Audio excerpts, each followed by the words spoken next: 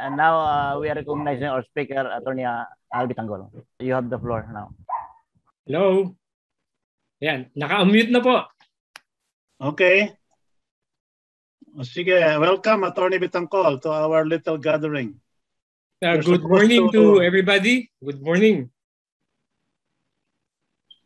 Yes, uh, well, Attorney Bitangkol is the famous columnist of Manila Times, and his column is All Insight. It has all the kinds of insights that will trouble people in power. So now he will tell us why our constitution is still our legal constitution of 1899. Thank you, Mr. Bitang- Attorney Bitangkol. Okay, so can I take the floor, Mr. Ramos? Yes. It's yours. It's Okay, yours. so will this be a formal speech or can I make it informal or whatever? You can do whatever you want. Uh, Okay. with, uh, as long as we understand our anyway, so-. Let me make it semi-formal. All right? Uh, to the members of this August body, I do not know if I have to address you parliamentarians or what. Anyway, it is a privilege to be invited to speak before you. And ladies and gentlemen, good morning to everyone. As we all know, the 1899 Philippine Constitution, popularly known and studied in our schools as the Manolos Constitution, is our first duly crafted Filipino-made constitution. The representatives of the people, led at the time by Pedro Paterno, the president of the Congress, voted, decreed, and approved the political constitution of the Philippine Republic on January 20, 1899. And take note that it was approved and commended to take effect because it is the sovereign will of the Filipino people. This was done on January 21, 1899 by the then president of the revolutionary government, Emilio Aguinaldo. Let me take you to some of the salient points of this constitution. First and foremost is the creation of a free and independent republic. This is based on uh, Article 2 of the said constitution. Let me share you my screen. Okay? So, let me take you to Article 2.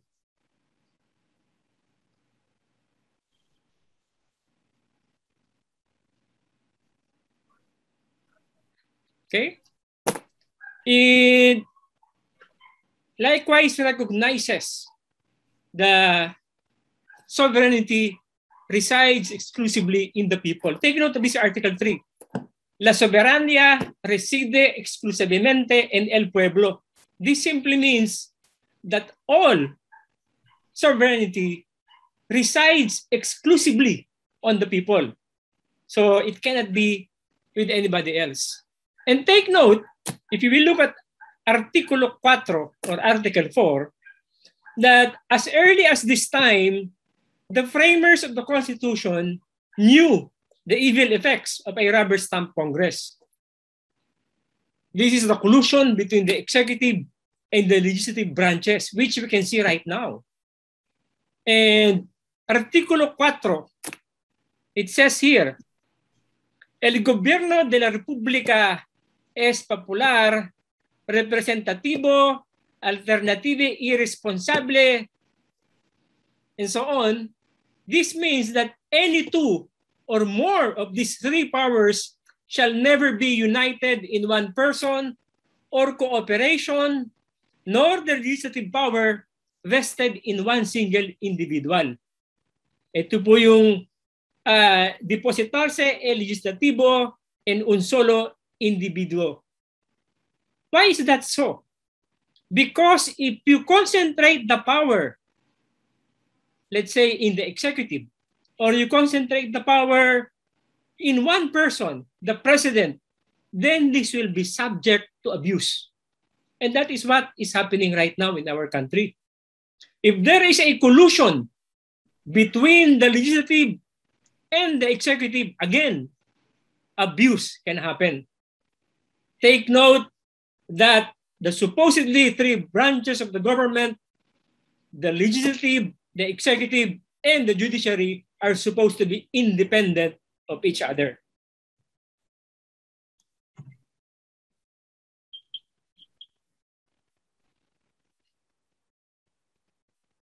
What is another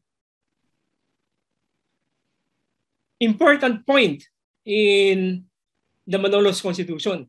This is in Artikulo 73 or Article 73, wherein the Council of the Government, el Consejo de Gobierno, es compone de un presidente y siete secretarios que tendrán de negocios extranjeros, interior, hacienda, guerra y marina, instrucción pública, comunicaciones, obrero públicos, agricultura, industrias y comercio. This simply means that the Council of the Government, based on the 1899 Constitution, is composed of the President and seven secretaries. Ito po yung Foreign Affairs, Negocios Extranjeros. Ito po yung Interior, Department of the Interior, uh, Agriculture, Guerra e Marina, this is the Army and the Navy, Instruction Público, this is the Public Education, Comunicaciones y Obras Públicas, this is the Public Works and Communications, and lastly, Agriculture and Commerce. Now, is this constitution still alive? Well, let's go back. Let's go back here. If we look at the 1899 Manolos Constitution, this is at the bottom of my screen now, okay, which was approved on January 21, 1899, supposedly the Philippine Organic Act of 1902 was enacted on July 1, 1902. But take note, this was done by the United States Congress, okay, not by the Filipino people. The Law of 1960, again, this was done by the United States Congress on August 29, 1960. The next constitution that was supposedly Filipino made is the 1935 Constitution. This was approved by the 1934 Constitutional Convention and take note again, certified by the United States on March 25, 1935. So again, These three are all under the auspices of the United States of America. So the 1943 Constitution, this was done under the Japanese occupation. And so we cannot say that this is a truly independent Filipino Constitution. So basically, what we now have is the 1899, the 1935, the 1973, and then the present one, which is the 1987 Constitution. But, ladies and gentlemen, it is my premise that the Philippines' first Constitution is alive and binding. And let me tell you why in a few moments.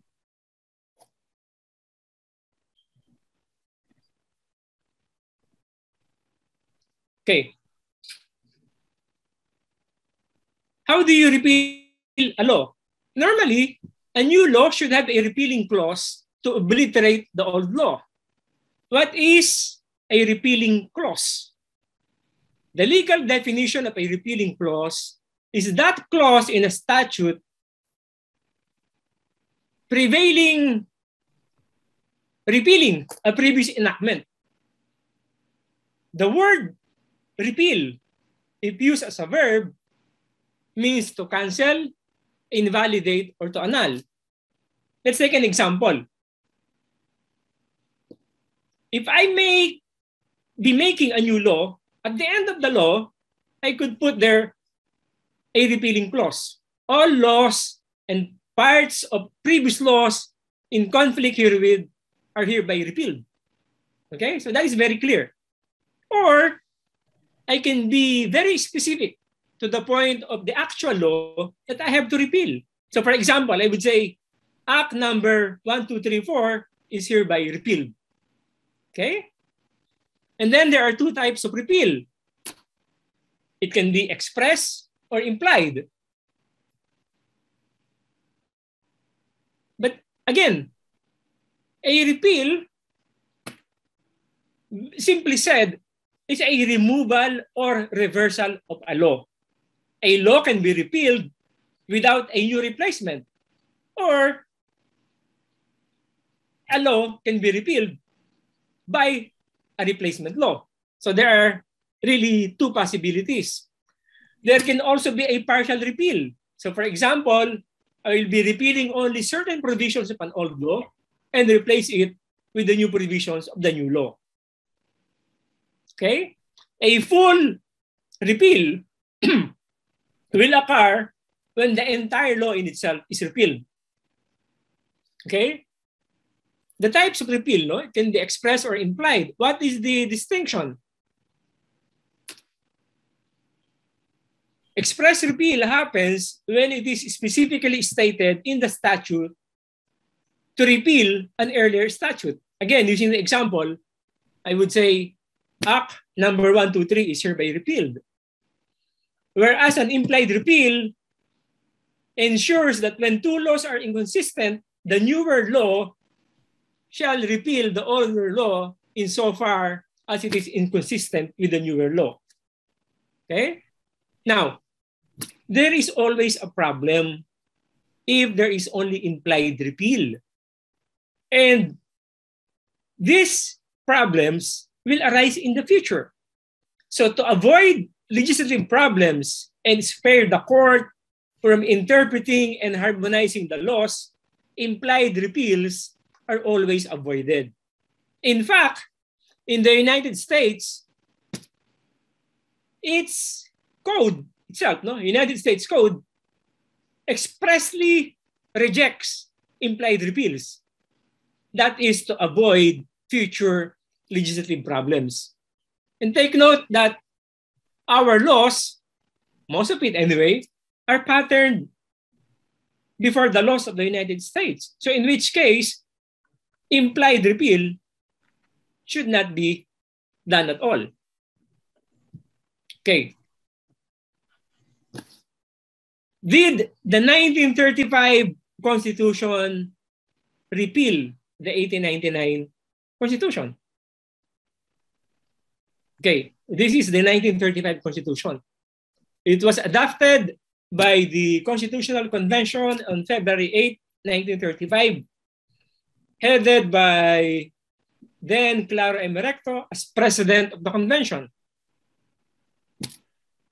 If you will be reading the provisions of the 1899 Constitution and the 1935 Constitutions, there are a lot of common ones. However, there are still some provisions that sticks out from the other. The 1935 Constitution should have a revealing, a repealing clause. But surprisingly, it never had one. Okay? There was no express repeal in that constitution. Similarly, there is no repealing clause that might give effect to an implied repeal. So therefore, there is only one constitution. The 1935 constitution did not repeal the 1899 Constitution. So, on that logic alone, we could say that the 1899 Constitution remains in force and binding, and it survived the 1935 Constitution. Okay? See, the 19, okay. Now, let's go to the 1973 Constitution.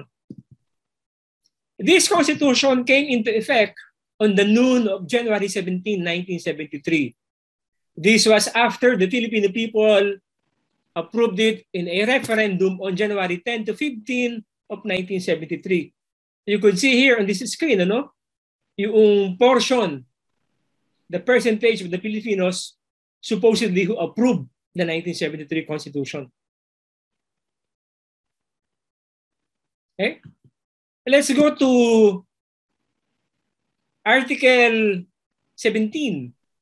Section 16 of Article 17, part of the transitory provisions, it clearly states this constitution shall take effect immediately upon its ratification by a majority of the votes cast in the plebiscite called for the purpose, and except as herein provided, shall supersede the Constitution of 1935 and all amendments thereto. Okay? So, what is the effect? The 1973 Constitution superseded the 1935 Constitution. But how about the 1899? The 1899 Constitution remains there because the 1973 Constitution did not even mention it. It only superseded the 1935 Constitution. Did you get the drift? The 1935 did not overturn the 1899. The 1973 superseded the 1935. So the 1899 is still there. Okay?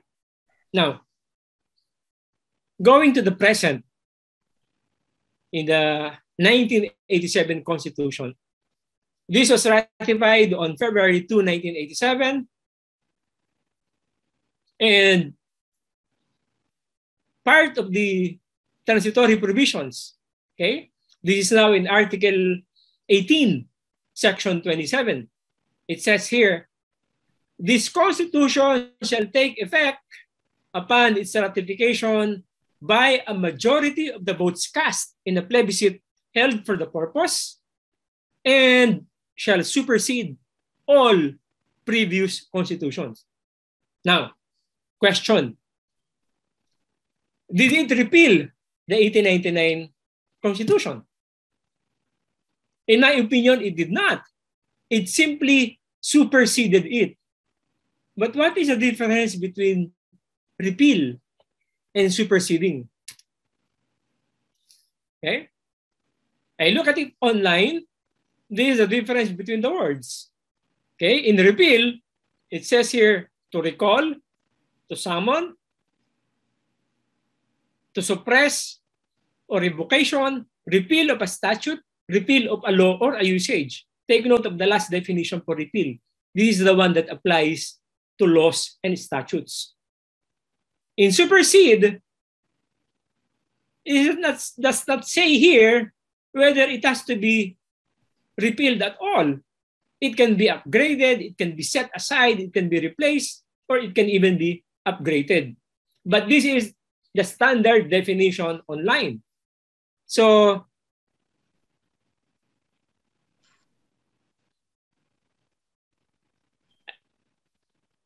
I decided to get the definition from Black's Law Dictionary.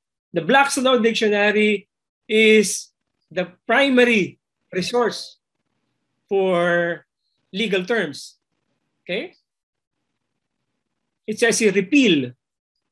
The abrogation or annulling of a previous existing law by the enactment of a subsequent statute which declares that the former law shall be revoked or abrogated.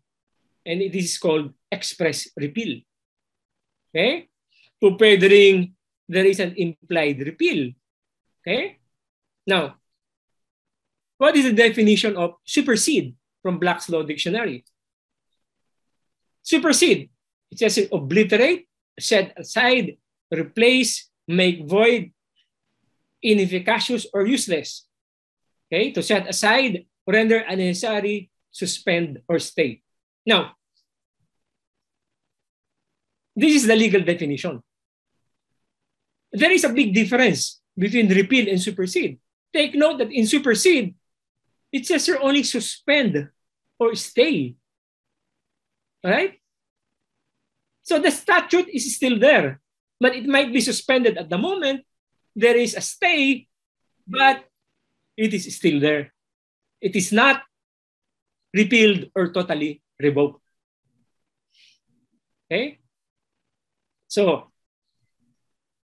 Ladies and gentlemen, with all the foregoing, it is my humble opinion that the 1899 Philippine Constitution persists. Maraming salamat po. Thank you. Palakpakan tayo.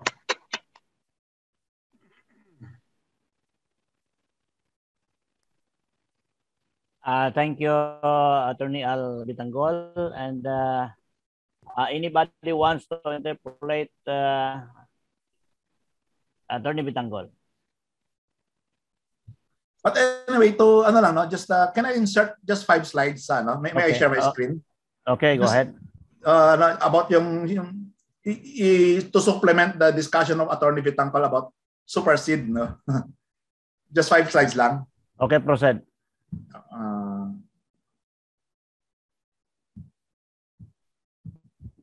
ito. Can, uh, can you see it? Okay. Ano nakikita nyo? It's the 1987 Constitution. Ayan ha. Merong word na supersede doon sa 1937 Constitution which is different from repeal ha. 1897. 1987. Ah, 19, 1987 pala, no? Yun nga lang, mapapansin nyo, yung, yung sa transitory provision niya ng 1987 Constitution. From Section 1 until Section 26 ng 1987 Constitution, nababanggit yung repeal doon, yung uh, the words uh, amend, repeal, revoke. Tapos sa doon lang sa Section 27, biglang lumitaw yung word na supersede. In, from sections 1 to 26 in the transitory, ah, doon lang lumitaw sa se- section 27. Tapos na, nakasulat doon, shall supersede all previous constitutions. Which, bakit hindi niya ginamit yung word na repeal? It had an opportunity to do so. Supersede, nag-downshift siya, kumbaga kumambyo siya pa, pa, pabagal to a soft, to a, to a weaker word, which is supersede. And what does supersede mean? Uh, to sit over, no? To, you can amend, you can revise, you can repeal, you can revoke, hindi siya supersede. Why suddenly downshift to the soft verb? To the soft verb supersede when in all previous verbs in the same context in the transitory provision uses the word amend, revise, repeal, revoke. Yung supersede, parang eh, yung literal meaning niya is you sit over. Eh. The, the, nakikita niyo yung pictures. The upper chairs supersede the lower the chairs underneath. Did the upper chairs ano uh, did the teka, did the upper chairs amend, revise, repeal, or revoke the the lower chair? Alisin mo yung upper chair, ma- maiiwan doon yung lower chairs. Eh. Siguro this is one way to to envision supersede, no? Makikita niyo dyan. Can you see the picture? Yes. Ayun, the lady is superseded the man, di ba? Did she amend, revise, revoke, repeal the man? Or did the man become more super rather than dead? The lady may even end up with the seed of the man if she continues to supersede the man. Siguro you know what I mean, no? Ngayon, yung ano natin, yung ah, yung may, may nakikita kayong bahay kubo diyan. Parang ganun muna yung 1899 Constitution, binibelittle, no?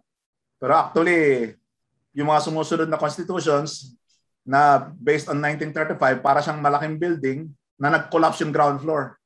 So, if the ground floor collapses, all the second, the second floor, third floor, fourth floor, fifth floor, sixth floor will also collapse. Unlike yung 1899 Constitution na kahit kubo lang siya, kahit, kahit i-earthquake siya, ano, it, it, it, will remain standing. No? So, besides, when you supersede, when the 1987 super, superseded all previous constitutions, it superseded only the, the previous ones, 1986, 1973, 1943, 1935. But it can never supersede the 1899 Constitution because the 1899 Constitution was never the ground floor of the 1987 Constitution na nayanig sa isang earthquake.